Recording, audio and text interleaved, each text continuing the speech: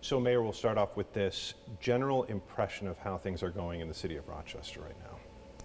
So right now, according to my understanding from the county executive as well as um, the commissioner of Department of Health, is that we are maintaining social distancing and staying home, but we are still very, very concerned because the numbers that we're seeing today are basically from two weeks ago, and um, the social tracking that's being done online of people that are staying home, we've gone from an A grade to now a C.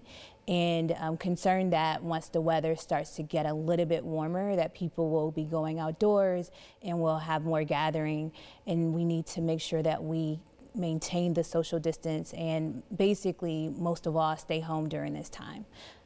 And you had decided to close some recreational aspects of the city because you were frustrated. You saw people going out, ignoring some of the social distancing warnings that were out there. What do you think's feeding into that?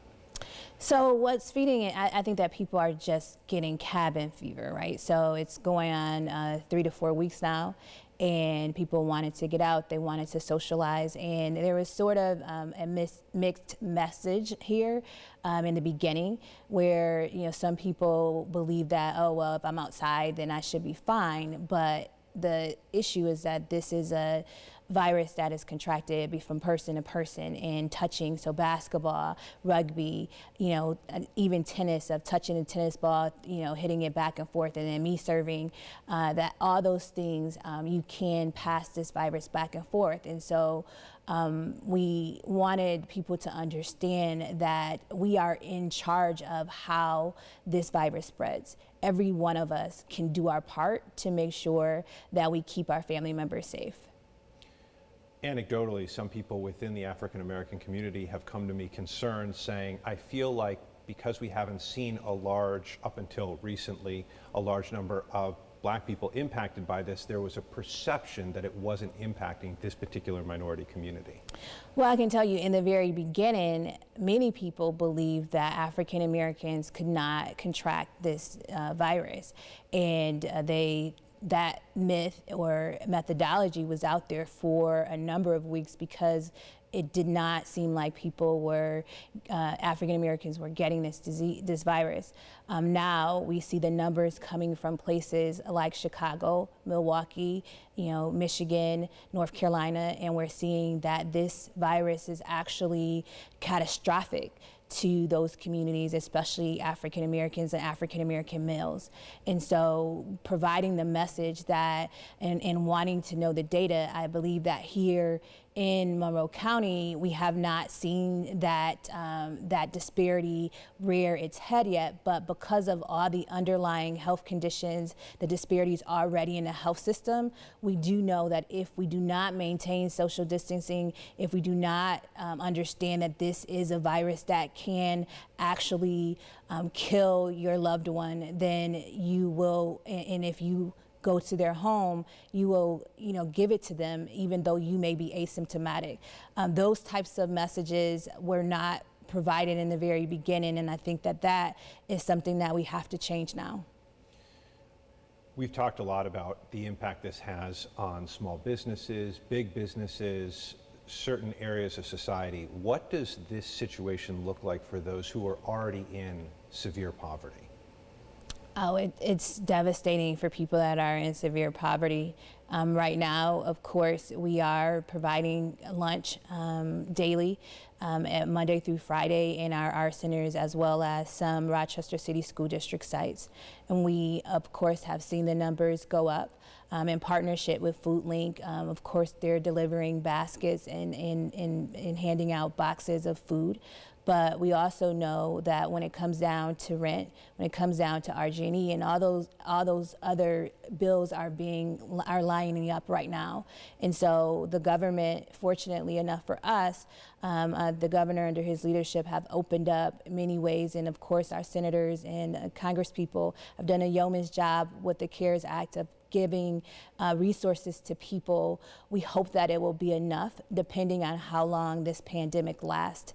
Um, but for people that are in, um, in poverty, this um, is going to have a catastrophic effect on them, and we don't know on the back end how we'll be able to make sure that we we help them come out of this um, and take care of their families. I guess that gets to my next point is at some point we do have to look past this, right? And I know that you've given some thought to that as well. What would you like to see as we exit this crisis? So, as we exit the crisis, we want to make sure that people first have the resources that they need uh, to maintain their lives every day so that they're not being evicted if they're renting or losing their homes if they're paying their mortgage. And I believe that right now we have solutions for much of that. Um, we want to make sure that they'll be able to continue to provide uh, nutrition uh, to their families and be able to access healthcare, the healthcare systems.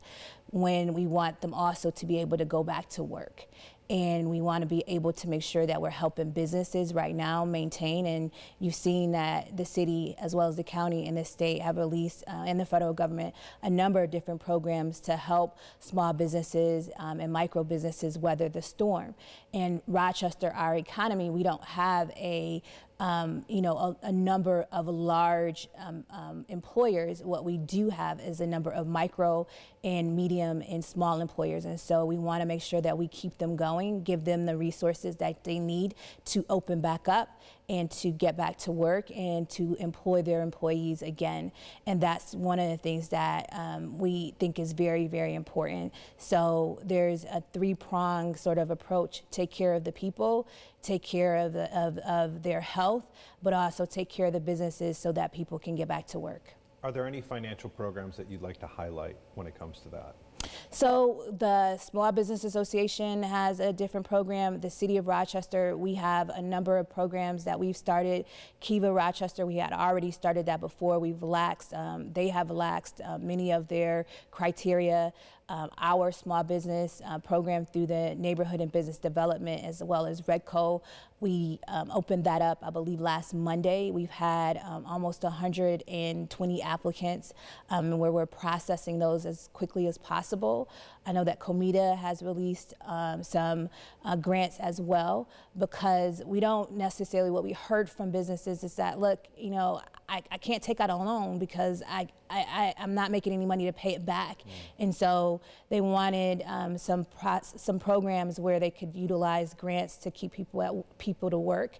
And part of the CARES Act was that if they were able to keep people employed, then 50% of the, that payroll they could actually roll over and get some um, dollars for. So it's going to be a long process, um, but we believe that we are resilient. We know that Rochesterians um, are a resilient people. We will overcome this. And I think that that's the most important thing that we understand that even though today is very, very hard, we are all working together so that tomorrow things can be better. Message for renters mm-hmm. at this point. So right now we know that the court systems basically have been closed and people cannot be evicted. We are looking at programs. Um, one of the programs through the CARES Act was ESG funding which um, would allow us as a community to develop a, develop a plan to help renters as well as landlords become whole. And so we're trying to figure out the criteria by which we can do that. And I know that Carol Wheeler and Commissioner Kirkmeyer are working very, very hard with our community partners to come up with a plan. But today, renters cannot be evicted. And so we want to make sure that um, even though many of them are not paying rent, that we are able to make sure that when the courts open back up and when people in the economy gets back going, that they will continue to be able to remain in their homes. You're a mother of a young daughter. Any advice for parents who are now home trying to figure out how to manage that situation? I would say find things for them to do. Um, spend time with with your family. I think that one thing that this virus has done is made sure that we all understand what's what's important right? And so all those things that we might have idolized and spent a lot of time, you know, doing, whether that's work or watching, you know, entertainment, all those things that we idolize, now we are forced to take a stock and take a step back and look at at home. And so lean on, I would also say lean on your faith. Understand that, you know, your uh, children didn't ask to come here. We, we chose to bring them here. And um, now that, that now that we are parents, we need to make sure that they understand what's happening. They're scared as well. They're not at school with their, their peers. They're not, um, you know, with their teacher. And that experience for them, of course, is, you know, um, is challenging, but do fun things with them. Um, one of the things that we have done, I'm on What's Good Rochester. My daughter and I have been doing science experiments. Uh, there's coloring that you can do, things that don't cost a lot of money, um, things that you already have within your home that you can do together. Go out and take them for a bike ride or a walk or something uh, just to get out of the house just for a moment, um, but maintain social distancing while doing that. But most of the time, most Im- important that I think is to just let them know that you love them and that you're all in this together and that we will get out of this together. I hear videos have been part of the routine. Yes. If I'm not mistaken. Yes. Uh, so uh, the last one we did was slime. The first one we made a volcano out of baking soda and vinegar. And so um, those types of, you know, we just given some ideas for parents: um, draw, color, play games, uh, hide and seek. Those um, things that kids love to do. Um, just spend some time with them, and when you need a break, you know, tell them to go read a book. you know, uh, to you know, give them a book to read, and, and both of you take that break where you read a book and, and they read a book, or have them read a book to you. Cook together. Um, do all those things that you wanted to do with your child, but you might not have had time to do, um, and and and and thank you know, be thankful for the time that you have to um, invest in, in your children um, at this point in time. One of the last questions that I have, Governor Cuomo had said recently that he wanted to see local law enforcement perhaps enforce social distancing a bit more. Like we mentioned earlier, you seemed fairly frustrated. Would you want to see more enforcement of social distancing from police, or where do you want to see that at this point? So what we are encouraging our officers to do is, you know, in a community policing way, you know, educate. Say if if you see social distance not people not adhering to social distancing, then you know you go up and say, you know, you need to be six feet away from each other, um, and educate, but not necessarily be punitive. The thing about this that people have to understand is that we're all in this together, right? And you have the power to make sure that your loved one lives. That's literally the message here. We all have the power by doing our part. And if everybody does what they're supposed to do, then we'll all make this make it out of here and make it out of this situation in a better place. Um, so if I have a role to play and you have a role to play, let's be our brothers and sisters' keeper. And let's not necessarily get punitive with this unless that's the last resort. The last resort for me was to take down the basketball courts and the tennis nets and all of that. That's the last resort because we want people just to adhere to this because we want you to be safe and we want our community to be safe on the other side of this. My last question for you is general cooperation amongst leadership. Obviously, you come out and you stand at the podium and you talk about the cooperation. How has that been since the start of the crisis? It has been a great partnership. I cannot uh, give not only the county executive and his team a lot of credit for keeping us informed as he is the, the leader on this um, issue because the county uh, commissioner of health reports directly to the county executive, but he's kept every level of government informed.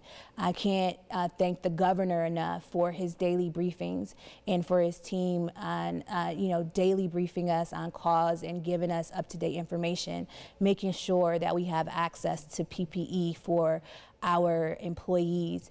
It is has really worked well here in New York State for us to be able to get the resources that we need in order to keep our employees safe because government is an essential service. So people are still out there picking up trash. Our police officers are still working. Our firefighters are still out there.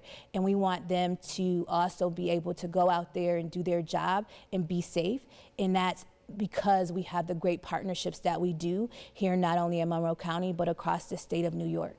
Yeah, I apologize. You mentioned PPE, so I did want to add this. Do you think that the governor will look elsewhere if he has to pull ventilators and whatnot from upstate New York than here? You probably heard the county executive say, we're already in need of this in our community. So I, I think that um, because the low numbers are upstate right now, but eventually, um, I think that the way that this virus has spread, we want to make sure that we take care of home first, and we recognize that uh, New York City is having a tough time. Um, yesterday, we learned that my uncle, my, my dad's brother, um, who was um, mentally handicapped, passed away from COVID down in New York City, and so we do know that um, this virus is taking New York City by storm. And um, they need help, but we also want to make sure that we take care of Monroe County and have the ventilators that we need here. And I believe that um, the governor is going to do that as a last resort, um, depending on what we see happening across the community. We want to thank uh, those uh, people that have volunteered to give ventilators to New York City at this point in time. But we also know that our numbers um, have started to grow with people being in ICU beds. And we want to make sure that when people have to go to the hospital here, that they have those ventilators that they can be on. Yeah. Made me think of one last thing. Uh, nursing homes. We have a lot of them within the city of Rochester. We don't get specific numbers of where deaths are in buildings, just region. What does the nursing home situation look like right now? So you would have to talk to Dr. Mendoza, um, but I know I do know that early on they shut down visitors to those nursing homes. You, we have heard numbers where uh, nursing home um, patients as well as staff have contracted, and I think that they're doing everything possible because that population is so vulnerable when it comes down to actually um, succumbing to this uh, particular uh, virus, as well as um, as we're seeing across the country, African Americans at alarming rates. And so we want to make sure that we provide the messaging to all of the employees and patients and families that we're doing our best. And I know that the Commissioner of Health, Dr. Mendoza, is really working overtime to make sure that we have the up to date information and that we are keeping our citizens as safe as possible. But we all have to do our part by listening to the, the five keys that they've outlined. Anything else you'd like to add, Mayor? I just want everyone to be safe, to stay home. And I know that it's very, very hard right now. But if we listen today, we will see tomorrow.